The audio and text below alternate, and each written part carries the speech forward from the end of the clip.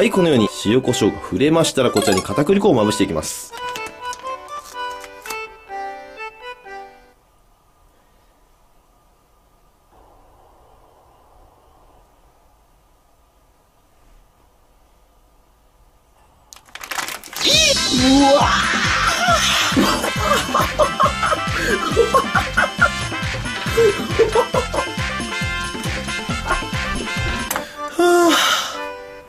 ああ、えらいこっちゃ、本当に。もう箸から伝わるこのキュッキュッって感じも無理だわ。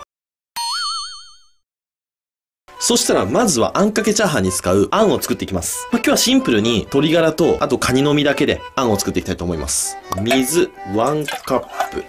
で、鶏ガラスープですね。これ顆粒のやつ使います。で、カニがちょっと塩分が入ってるんで、減塩使ってください。大さじ1ぐらい入れます。で、火にかけていきますと。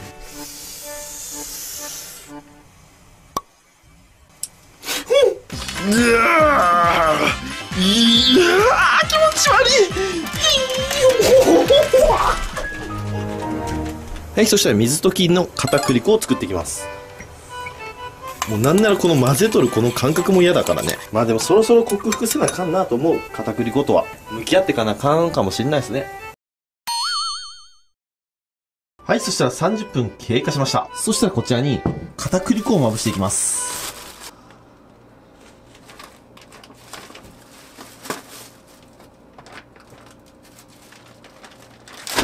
うわ、マジか.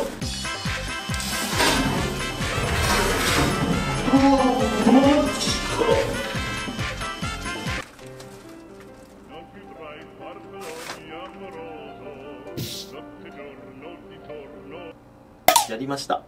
はい、こちら、やらかしました。あー、激内です、これ。ここに立たないと料理ができないんで、ひとまずは、こうだな。こう、ち悪い気持ち悪いどうしようもうやめるかもう結構ここで終わるか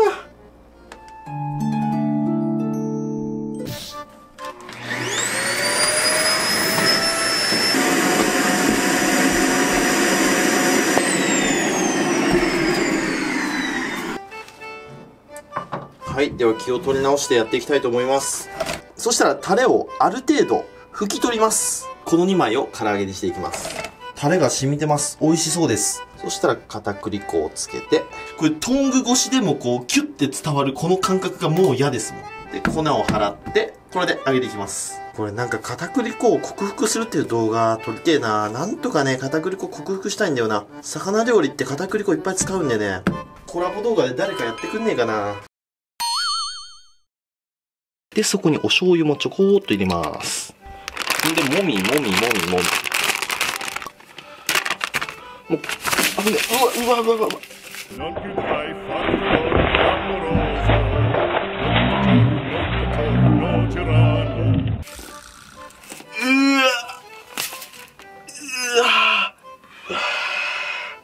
シンプルにやらかしたうおやばい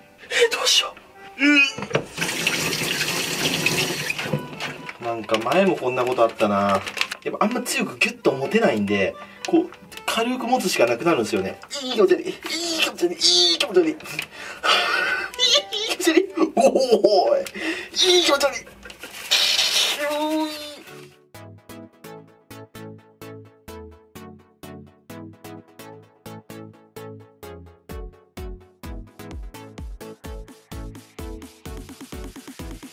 それではこちらをさばいていく。